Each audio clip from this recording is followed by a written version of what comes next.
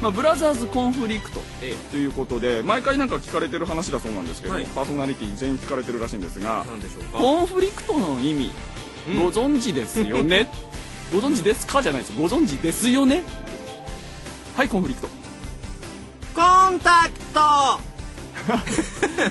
えー目には入れられないみたいな感じですか？なんかこうなんかこうねぶつかる感じですよ。ああぶつかる。コンタクトみたいな。あそっち？そっちのコンタクト？そそっちですよ。目入れ何言ってんですか？コンタクトレンズのことかと思ったんですうわーそんな。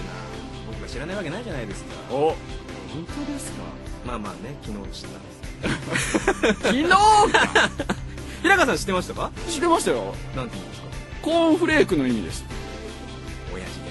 おやおや親父ギャグ聞いてる方すごい若い方なんですって。あらしいですね。そうですよ。だから我々がね、ええ。こんな話をしててもポカーンですよ。ダメダメ。はいそれでは、粛々